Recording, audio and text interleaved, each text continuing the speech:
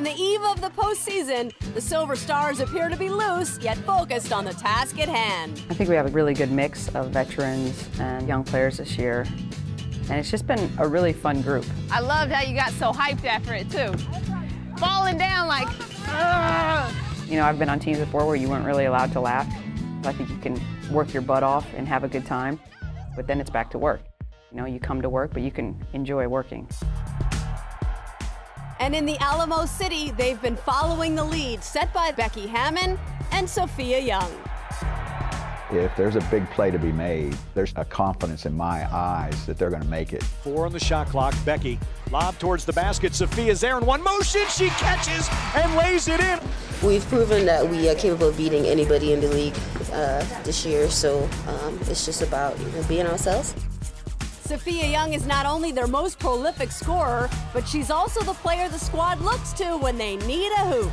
She's been carrying us a lot this year. She's had a tremendous year. She's just doing some moves where it's just like I just shake my head. It's like that move was so sick. Sophia spins down the left lane line to the basket, and Good Sophia. Job. There you go. She's always led by example, but she's learned how to do it in other ways now. She's learned how to communicate better. Don't just take one to the back attack them so they will switch, and then we can play some Make sense? I got to give credit to Coach Hughes for that because um, he has challenged me to be one of the leaders for the team, and you know I've kind of taken on a challenge because I like challenges. Becky and Sophia, give us a couple thoughts as we go into this game.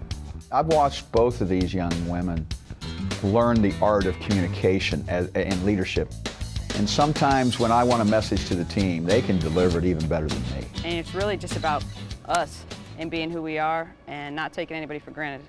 While Coach Dan Hughes is the main voice in San Antonio, he relies heavily on his interpreter.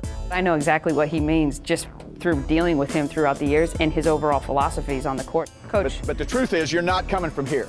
Are we doing a three player where she just goes to the top? No. Yep. But no. Okay. No. She'll know where I'm going. And if I'm if, if I'm not getting the right words, she probably can can get the right picture to them. So we don't necessarily want to bring you into this rotation. No, I wasn't saying that. I was saying oh. I drop. And then yes. Sometimes he'll say the wrong thing. I already know what he means. Coach, also, they uh, they don't really guard the ball. She translates for me. Now in her 14th WNBA season, Hammon has firmly established herself as the team's floor general. The evolution of her game is something impressive. In New York, she was scorer first, playmaker second, but she's really reinvented herself. Beautiful feed from Hammon inside to Young. You're just really lucky when somebody embodies the mentality that you want to get across. Hey, great, great game. That was good what do we have to do to, to win this game? What can I do personally to make everybody else around me better?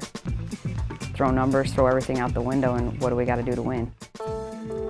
Hammon and the Silver Stars are still haunted by the disappointment of the 2008 WNBA Finals, where they were swept by Detroit. I don't think anytime you get to the heights, when you don't get that one more step, you remember it. 08 was, was tough we just ran out of steam. So this year I hope you know, we can stay healthy and, and make the good run and be peaking at the right time. Hey, it's game day. Um, actually excited to be here. I love coming into work. Hopefully we take care of home, you know, get a win and uh, getting ready for the playoffs. As San Antonio gears up for a first round date with the LA Sparks, the Silver Stars are looking for a consistent, sustained effort going forward. Start on three, one, two, three.